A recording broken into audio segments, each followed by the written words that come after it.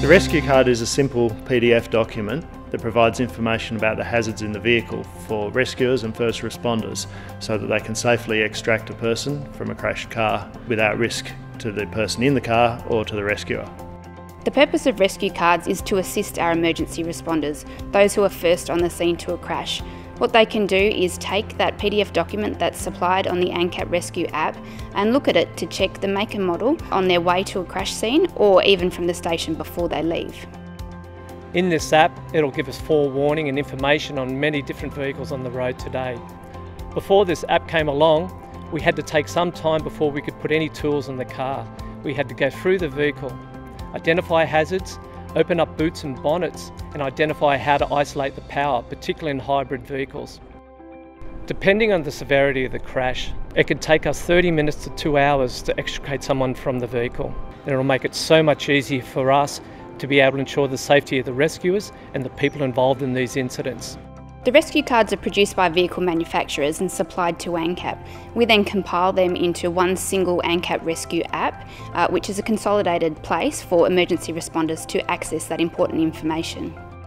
The rescue card gives a simplified diagram that shows the features of a vehicle and shows the location of the hazardous items, so particularly something like a battery, and also gives some information potentially about how to disconnect a battery or how to safely disarm an airbag.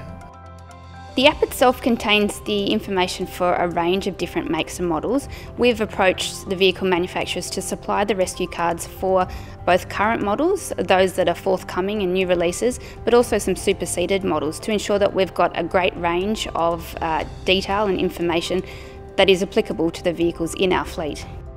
What rescuers need is a ready, handy information source where we can find out exactly what we're likely to encounter when we arrive. This app allows us to identify those risks much more quickly and get to work in saving the people involved in these incidents.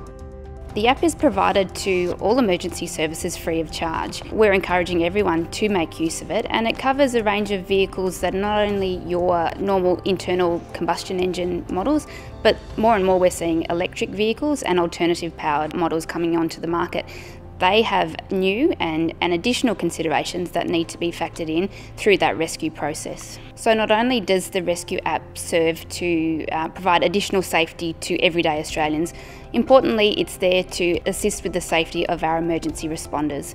They put their lives at risk every day responding to crash scenarios, and we want to ensure their safety is protected and they get home to their loved ones at the end of the day.